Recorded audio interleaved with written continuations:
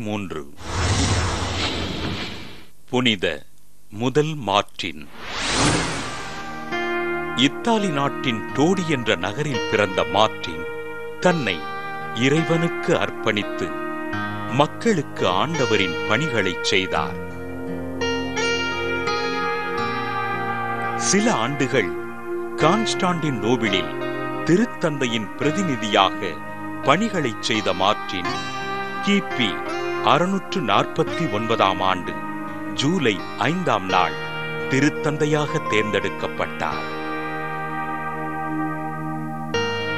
இயேசு கிறிஸ்து ஓரியல்பு மட்டும் உடையவர் என்ற அக்கால கருத்திற்கு மறுப்பு தெரிவித்த திருத்தந்தை மார்டின் லாத்ரன் நகரில் பொதுச் சங்கத்தினை கூட்டி ஆண்டவர் இயேசு இறை இயல்பும் மனித இயல்பும் உடையவர் என்று அறிக்கையிட்டார்.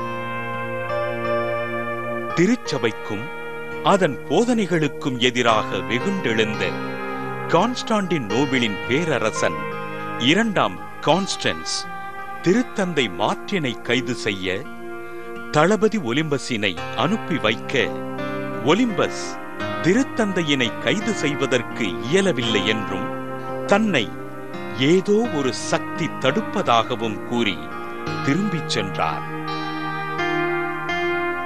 திருச்சபையின் போதனைகளும் திருத்தந்தையும் தன் கட்டுப்பாட்டுக்குள் இருக்க வேண்டும் என்ற எண்ணம் கொண்ட பேரரசன் கான்ஸ்டன்ஸ் தன் மற்றொரு தளபதியான தியோடரை அனுப்பி வைக்க திருத்தந்தை மார்டின் கைது செய்யப்பட்டு கான்ஸ்டாண்டின் நோபிலுக்கு கப்பலில் ஏற்றப்பட்டார்.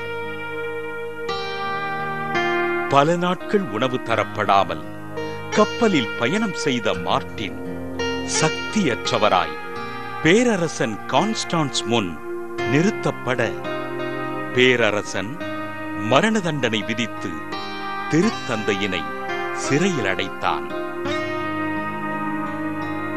சிறையினில் எண்பத்தைந்து நாட்கள் பல்வேறு துன்பங்களை அனுபவித்த திருத்தந்தை முதல் மாற்றின் கெர்சோன் நகருக்கு நாடு கடத்தப்பட்டு கிபி அறுநூற்று ஐம்பத்து ஐந்தாம் ஆண்டு செப்டம்பர் பதினாறாம் நாள் விண்ணகம் சென்றார்.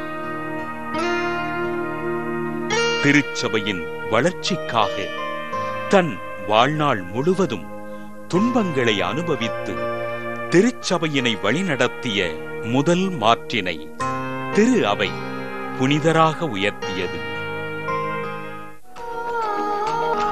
புனித முதல் மாற்றின் திருவிழாவினை கொண்டாடுகின்ற நாம் தீவிரவாதத்தின் அச்சுறுத்தலினால் வாழுகின்ற மக்களை இறைவன் பாதுகாக்கும்படி ஜெபிப்போம்.